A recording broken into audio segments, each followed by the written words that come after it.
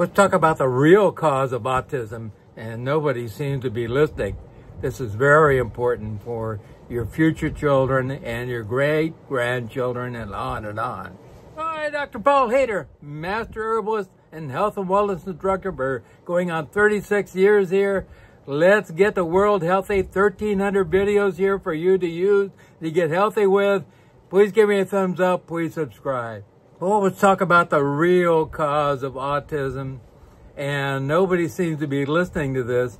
And I talked about pesticides the other day causing brain damage. Well, also herbicides like Roundup or, you know, glyphosates are really directly connected to this.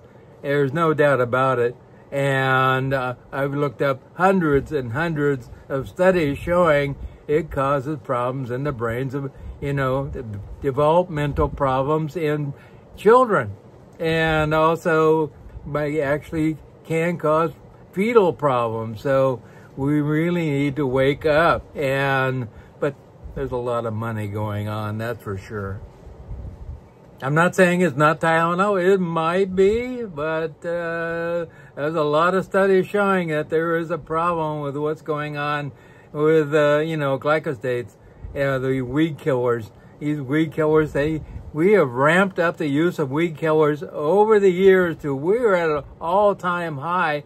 If anything is not organic, is sprayed with glyphosates or Roundup you know, with a huge amount of these uh, terrible weed killers. So we really need to uh, open our eyes about this. Down below, you can see all the uh, uh, just a few of the links that I put down there so you can look them up or, you know, peruse them uh, about what, you know, glyphosates can do to the body of, and the fetus also. So this is important. Here I'm going to show you a graph showing the use of, you know, glyphosates or weed killers in, in that realm and the actual you know, amount of autism going on. They match exactly.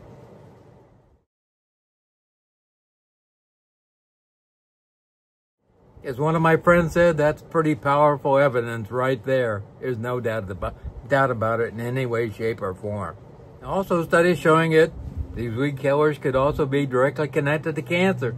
And our cancer rates in the United States or four out of five people coming down with cancer. This is really not good also. So please, around your house, stop spraying with these weed killers of any kind.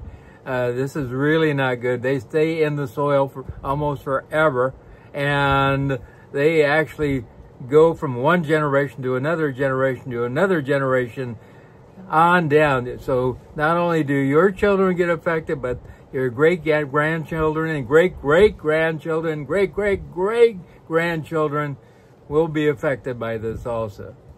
So please bring this up to, you know, your officials in your town and your state and let them know that we don't want, you know, these weed killers in our food. Absolutely, positively. And it's in just about everything. And that's another reason you need to eat totally organic.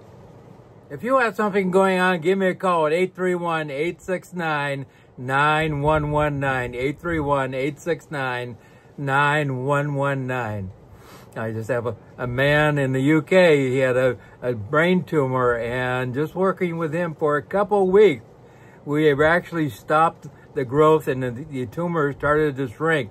I am excited. There's no doubt about that. 831 869 9119. Remember God, remember I love you. And a great seer said, the greatest revelation is stillness.